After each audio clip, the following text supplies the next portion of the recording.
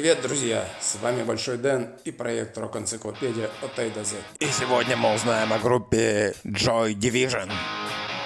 In the shadow play, acting out your own death, knowing no more. Образовавшаяся в самый разгар панковского движения, эта команда стала первым коллективом, променявшим гнев и агрессию на депрессивную меланхолию. И хотя поначалу Joy Division придерживались грубого гитарного саунда, в дальнейшем у них в ход пошли синтезаторы, что в купе с цепляющими мелодиями и своеобразными грустными и болезненными текстами Кертиса сделало группу пионером постпанка и готик-рока. А все началось с манчестерского концерта Sex Pistols, который посетили два местных парня – Бернард Самнер и Питер Хук. Выступление столичных панков произвело на них большое впечатление и послужило поводом для создания собственной команды.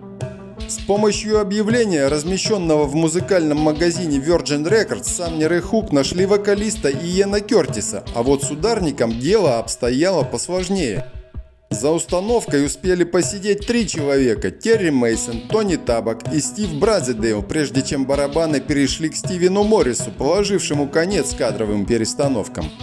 В оригинале проект получил название Warsaw по песне Дэвида Боуи, но спустя несколько месяцев, чтобы не вступать в конфликт с уже существующей панк-бандой Warsaw Pact, коллектив сменил вывеску на Joy Division.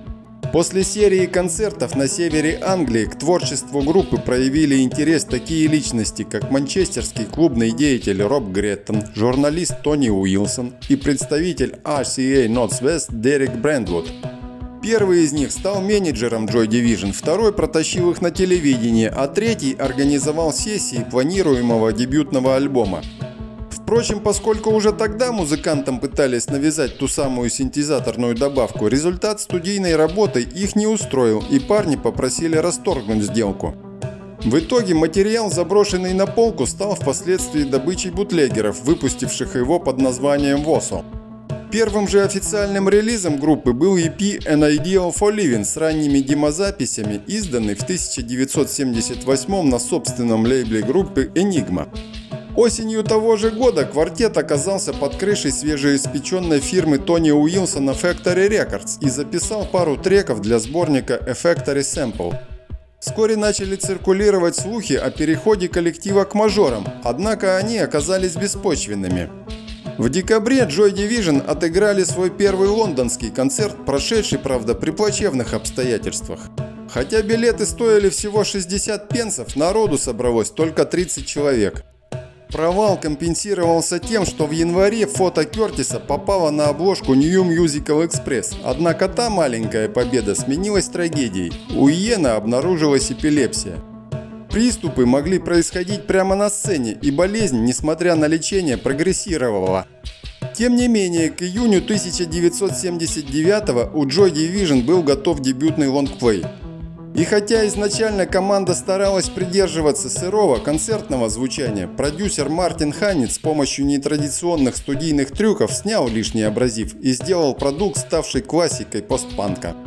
Критики называли Unknown Pleasures миксом из Гэри Глиттера и Velvet Underground или сплавом The Doors эпохи Strange Days с немецким экспериментализмом типа Ken. Но в любом случае альбом получил хорошие обзоры в прессе, а также долгое время провисел в инди-чартах и продавался весьма неплохо.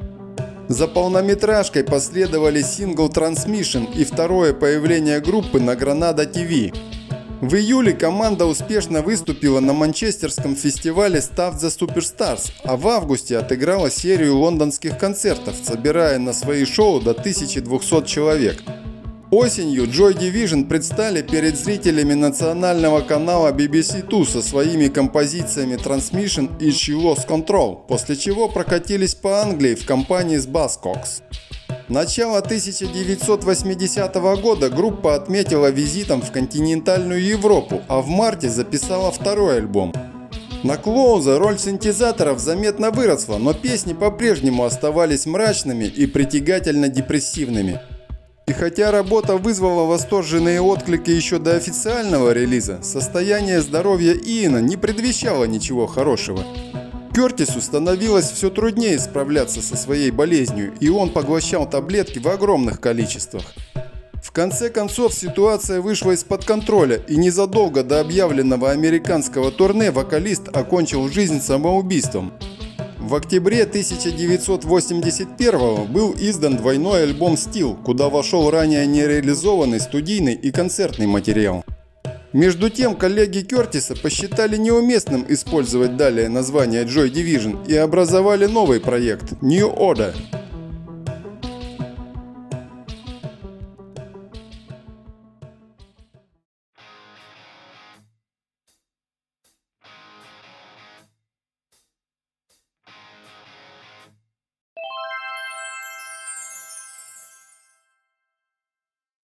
Кстати, самое первое название группы было Стив Киттенс, но оно продержалось совсем недолго.